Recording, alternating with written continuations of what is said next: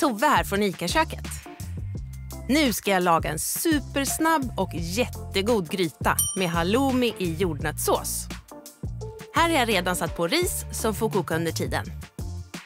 Jag börjar med att skiva halloumin. Det funkar lika bra med svensk grillost såklart. Och så steker jag den i olja tills den får en gyllene och fin brynt yta. Nu är de fina. Då får de steka på andra sidan ett tag. Så där, jag lyfter upp dem så länge så jag kan göra grytan i samma panna. Och nu kommer vi till själva tricket. Jag använder en färdig grytbas som gör det supersmarrigt utan att jag själv behöver lägga ner min själ på att krydda eller köpa tusen olika ingredienser. I med spenaten och låt den mjukna.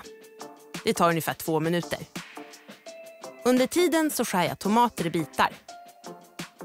Så, ner med dem också. Nu ger jag grytan ett litet uppkok.